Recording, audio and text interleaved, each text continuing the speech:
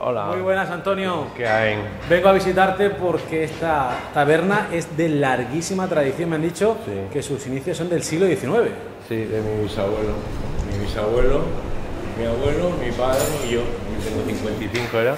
Entonces, tantos años aquí, sois muy conocidos. Vendrá gente de muchos lugares de la zona. Sí, mucha gente, mucha gente de Murcia, mucha gente de Cartagena y gente muy importante. Aparte que tengo la mejor clientela que hay. Que nosotros cocinamos bien, pero lo mejor son los clientes. Sí, tengo unos clientes que todos son fenomenales de. Entonces, la gente viene aquí porque cocináis muy bien. Recetas que han pasado de generación en generación. ¿Cuáles son vuestros fuertes? Pues hoy mismo voy a preparar un cocido de toda la vida de aquí de los Camachos, que eso lo hacía mi bisabuela, y un postre casero que va a ser un arroz con leche de toda la vida de aquí. Muchas cosas nos vas a cocinar. Vamos a empezar por el cocido. Vamos a empezar por el cocido y luego ya vemos si nos queda hueco. Tengo una buena cocina y gente muy buena ayudándome. Pues venga, vamos a verla. Bueno, Antonio, ya tenemos aquí todos los ingredientes para ese cocido, que es una receta que viene de muchos años en tu familia. De mi bisabuela, de, de mi abuela, de mi madre, que era la que yo veía cocinar estos cocidos, y echaba los garbanzos por la noche anterior, luego el pollo campero de, de corral, Porque esto es una- la base es el pollo campero, que este no es un pollo normal, este tiene ya su gracia. pollo campero y los garbanzos de remojo de toda la vida. El pollo también que será de la zona, imagino. Sí, el pollo de, de aquí. También tenemos albóndigas, La albóndiga, pelotas de toda la vida. el embutido casero. ¿Eso lo hacéis vosotros? Sí, sí, prácticamente lo hacemos todos nosotros. Y esto es el churrasco de ternera, su verdura, Mira su tocinillo, ¿no? su tocino, su jamón, y Muy además, importante. y además bueno. Sí, sí, ya veo que tiene buen color, ¿eh? Y luego la patata de aquí de Largar, que está regada con agua de pozo. O sea, todos son productos de la Esto tierra. es natural, el cocido está especial de bueno, que en estas fechas, pues igual hoy se come la olla entera de cocido. Y eso que estamos en agosto. Estamos- O sea, esto te sube unos cuantos grados el cuerpo. Sí, esto sale muy bien. Te falta aire acondicionado, te falta la respiración, pero luego están los gin tonic que te puedes rebajar. Eso rebaja, ¿no? Que también terminamos con un poquito de sal. Sí, su sal, su colorante, su picada, que yo le he hecho un poquito de vino a esa picada. Algunas cosas a lo mejor van fuera del sitio, a lo mejor mi madre no lo hacía con vino. lo Pero le has dado tu puntito. Yo le he dado mi punto y la verdad es que me sale muy bien. No es que lo digas tú, es que lo dicen los clientes. Lo dicen los clientes, sí. Tengo preparado mi el pollo campero que se lo vamos a ir echando. Cuéntame algo del pollo. Porque el pollo campero, mira el color que tiene y es más duro, es un pollo normalmente más duro que el pollo normal. Este pollo son más grandes, necesitan más tiempo. A lo mejor tiene tres meses o cuatro meses el Pero pollo. Es más gustoso.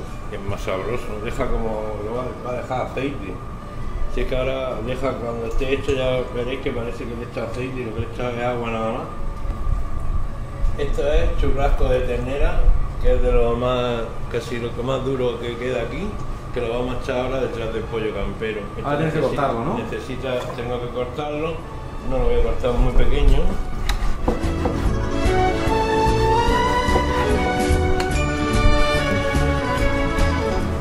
Sabor que va fuerte, ¿no? Sí, este es el sabor de ternera. Lleva la ternera, lleva el tocino, pero la ternera, esto más bien le, da, le va a dar sabor. Le va a dar sabor y aparte que es churrasco de ternera, que está bastante bueno, hasta la brasa se puede comer bien. Voy a, a- estoy echando la carne por dureza. Ahora el tocino, que es también duro como el jamón, pues lo, lo voy a echar, a esto ya sí lo voy a hacer más pequeño.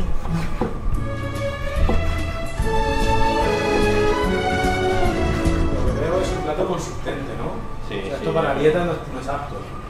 Bueno, si no mezclas, pues está bastante bien. El plato de comida casera tiene bastante. Está bien, está equilibrado, lleva de todo. Ahora voy a echar el jamón, voy a echar la verdura y ya voy a echar el embutido. Lo voy a echar ya porque esto está ya preparado para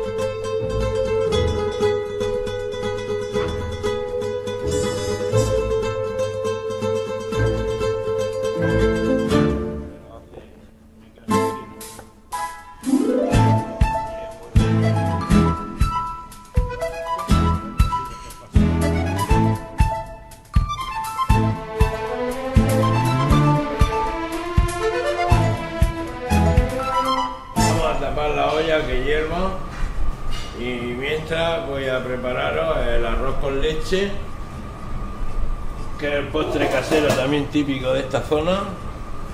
Y, el casero lleva su, su rodaja de limón, su canela en rama. Yo la receta la uso a ojo, no peso muchas comidas, no los postres no los peso mucho. Lo hago casero, casero.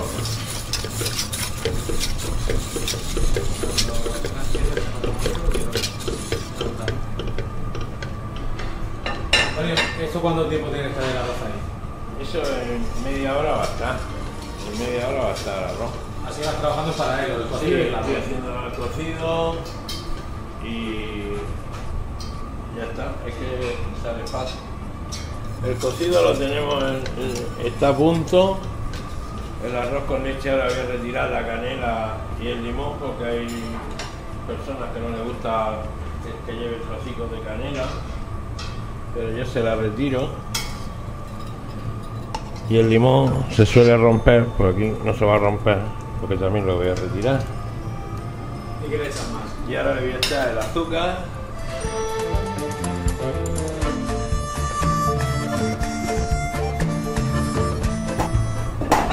Mueves y cuánto tiempo lo Lo dejas? muevo. No, tengo que estar moviéndolo. Tengo que estar moviéndolo con el fin de que no se pegue. Pero vamos, que en media hora está. En media hora va a estar seguro. Antes que igual que el cocido, si va a tardar mismo tiempo que el cocido. Ahora vamos a poner los garbanzos que han estado a remojo. ¿Cuánto tiempo? Pues desde anoche, pues ya es tarde, los puse a las 4 a las 5 de la tarde. Los puse para que estuvieran lo más tiernos posible. Mirad qué color está cogiendo y todavía no lleva ni la picada ni lleva las patatas. No le he puesto aún ni colorante, pero a lo mejor es que ni le voy a poner. Porque fíjate el color que tiene. ¿Ese color que se lo da? Eso se lo está dando el chorizo, el embutido de aquí y el pollo campero, que, que- que es amarillo. Así es que es la base de- del cocido este es el pollo campero.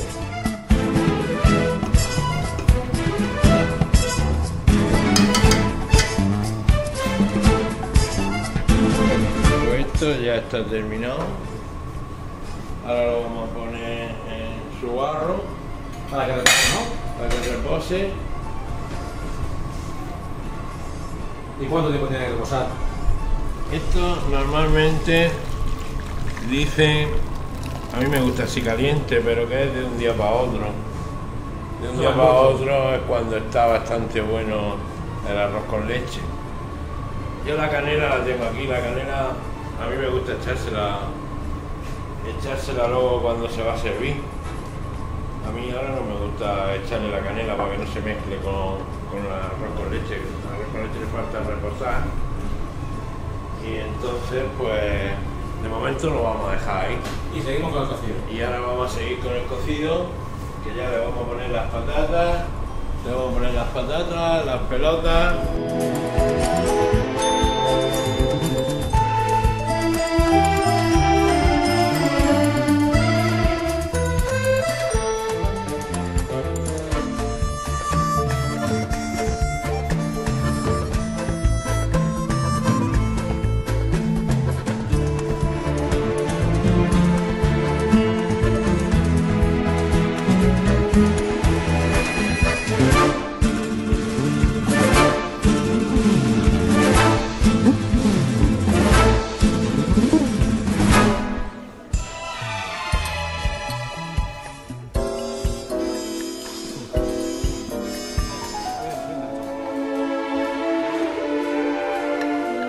Espero que os guste y que aproveche.